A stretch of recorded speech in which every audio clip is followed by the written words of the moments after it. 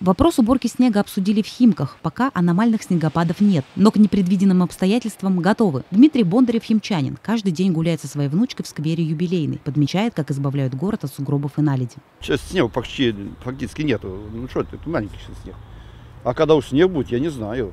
Вот эти площадки, конечно, они чистятся вот эти вот, где народу побольше. На уборку снега в Химках вышли свыше 160 единиц спецтехники и более тысячи человек. Убирают дороги, подходы к остановкам и прогулочные зоны. На общегородском совещании глава округа Дмитрий Волошин распорядился в случае проблем привлекать дополнительные ресурсы. Насколько я знаю, у нас контракты с городом Москвой, с, с компаниями, которые находятся на территории, точнее, города Москвы. И в случае возникновения каких-то проблем, я прошу обращаться к нашим коллегам федеральным, они нам будут помогать. Для уборки улиц необходимо задействовать все ресурсы. Для этого строительные компании в Химках готовы предоставить еще порядка 50 единиц техники. Ксения Брагина, Николай Забродин, служба новостей.